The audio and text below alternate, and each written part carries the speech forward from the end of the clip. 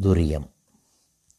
நித்திய அனித்திய வஸ்து விவேகம் சாதகன் உள்ளத்தில் உருவெடுக்க வேண்டும். அப்பொழுதுதான் அனித்தியமாயுள்ள உலகப் பொருள்களும் உலக வாழ்வும் அவனிடமிருந்து ஒதுங்கிப் போகும். உலக சுகபோகங்கள் மனிதனுடைய நிஜ சொரூபத்தை பாழ்படுத்தி அவனை கீழ்மையில் ஆழ்த்துகின்றன. இந்த தெளிந்த விவேகமும் தீவிர வைராக்கியமும் வாய்க்கப்பெற்றவன் நல்ல ஆத்மசாதகன் ஆகிறான். உலகப்பற்றில் மிதக்கும் ஜட புத்தியுடையவனுக்கு ஆத்மபோதம் வாய்க்காது.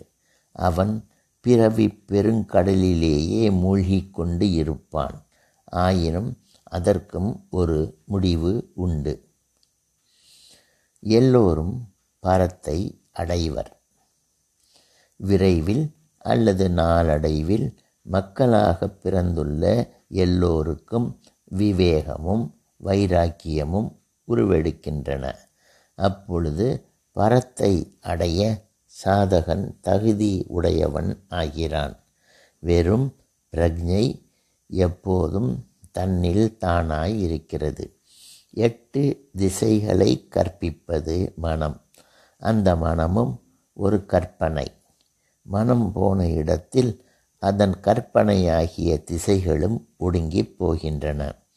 மனோ கற்பனையாக அமைந்துள்ள இடத்தில் பரவஸ்து அடங்காது. பரவஸ்து நிறைபொருள் பூரணம்.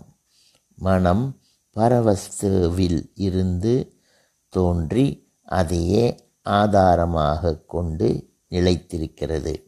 பிறகு பரவஸ்துவிலேயே ஒடுங்குகிறது. எனவே ஜீவ பிரஜை பூரண பிரஜைக்கு புறம்பானதன்று. ஜீவ பிரஜை பூரண பிரஜைக்கு புறம்பானதன்று. மனிதன் படுகிற துன்பங்களுக்கு மனமே காரணம் ஆகிறது. மனம் விருத்தி சுரூபமானது. நல்ல விருத்தி இன்பத்துக்கு ஏதுவாகிறது. கெட்ட விருத்தி மனிதனை துன்பத்தில் ஆழ்த்துகிறது.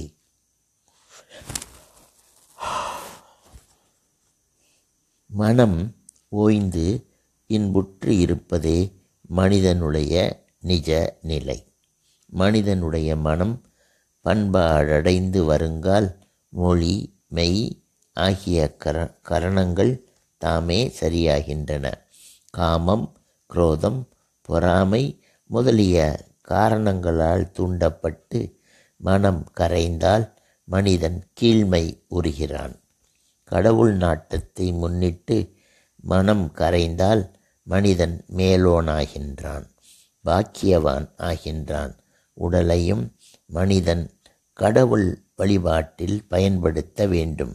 உடலை கடவுள் வழிபாட்டில் பயன்படுத்துவதை முன்னிட்டு உடலின் செழுமை குறையுமாயின் அதில் கேடு ஒன்றும் இல்லை. செழுமை குறைவதற்கேற்ப தெய்வத்தின் மகிமை அதில் மிளிர்கிறது. உள்ளத்தினுள்ளே நேர்மை ஒடுங்குதற்கு உள்ளத்தினுள்ளே நேர்மை ஓங்குதற்கேற்ப கள்ளத்தனமும் கட்டும் தானாகவே மறைந்துபட்டு போகின்றன. இத்தகைய பண்பாடுகள் வாய்ப்பதற்கு ஏற்ப ஆத்மசாதகன் இறைவன் அருளுக்கு பாத்திரமாகிறான். துரியம் மனோநாசமும் மாயையின் விசித்திரமும் ஒன்றோடொன்று சம்பந்தப்பட்டிருக்கின்றன. மனம் போனவிடத்து மாயையும் மறைந்துபட்டு போகிறது. மெய்க்காட்சியே மிஞ்சியிருக்கிறது. மனோநாசத்துக்கு நிகரான அதிசய செயல் வேறு எதுவும் இல்லை. மனம் அழிந்து போன இடத்து ஜீவ வியக்தி ஒளிந்து போகிறது. பிரபஞ்ச காட்சியும் பகல் கனவு போன்று இல்லாமல் போகிறது. தெய்வ காட்சி ஒன்றே எஞ்சியிருக்கிறது. இதை பெறுவதற்காகத்தான் மனிதன் படாத பாடுபட்டு வருகிறான். விவேகத்தால் மனிதன் மனத்தை மாய்க்க வல்லவனாகில் அதிவிரைவில் உலக விவகாரத்தை ஒழித்து பரக்காட்சியில் அவன் நிலை பெறுவான். தன் மனத்தை திருத்தியமைக்க மனிதன் கடமைப்பட்டிருக்கிறான். எவ்வளவுக்கெவ்வளவு மனம் திருந்துகிறதோ அவ்வளவுக்கவ்வளவு மனம் தெய்வீகத்தில் கரைந்து போகிறது. தூய மனமானது சுத்தமான கற்பூரத்தோடு ஒப்பிடப்படுகிறது. சுத்தமான கற்பூரம் எரிந்து போன பிறகு எரிந்த தட்டில் சாம்பலோ கரியோ எஞ்சியிருப்பதில்லை. அங்கனம் தூய மனம் தன் பெயரை இழந்து தெய்வீகத்தில் இரண்டறக் கலக்கிறது. தூய மனம் படைத்தவன் பரம்பொருளோடு ஒன்றுபடுகிறான். மனிதன் அடைகிற பேறுகளில் பரம்பொருளுக்கு நிகரான பேறு எதுவும் இல்லை. மனம் மாய்ந்து போன விடத்து மனிதன் ஒப்பு உயர்வற்ற பரத்தினை பெறுகிறான். அத்தகையவனே பாக்கியவான். சலனமுள்ள மனம் ஆத்ம சைதன்யத்தை உணர இயலாது. மனத்தின் சலனம் அடங்கியிருக்கின்ற பொழுது அது ஆத்ம பிரகாசத்தை விளக்க வல்லது. அப்பொழுது அது செயலற்று கிடக்கிறது. ஆத்ம சைதன்யத்தை விளக்கும் பாங்கு மனதிற்கு இருந்தாலும் மனம் தானே ஆத்ம சைதன்யமாகிறது. ஆத்ம சைதன்யம் மனத்தில் கட்டுப்படாத அறிவு பெருவெளி. ஆதலால் அது உண்ணாவெளி என இயம்பப்படுகிறது. பிரதிமயமான மனம் முக்குணத்தால் ஆக்கப்பட்டது. அமைதியான சத்துவ குண நிலையில் மனம் ஆத்ம பிரகாசத்தை விளக்குவது போல் தென்படுகிறது.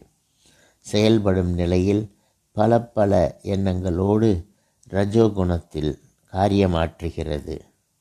தமோகுண நிலையில் அது கார் இருள் மயமாக மனமானது உறங்குகிறது. ஆத்மா ஒரு பொழுதும் உறங்குவதில்லை. உறங்குகின்ற மனம் ஆத்ம சொரூபத்தை பிரதிபலிப்பதில்லை. ஆத்மாவிற்கு உறக்கமும் விழிப்பும் இல்லை. அது யாண்டும் பேருணர்வாய் இருக்கிறது. ஆத்மா எந்த இடத்திலும் அடங்குவதென்று. நிறை பொருளாகிய ஆத்மா மானுடனின் உயிருக்குள்ளே தொட வீற்றிருப்பது போன்று தோன்றுகிறது.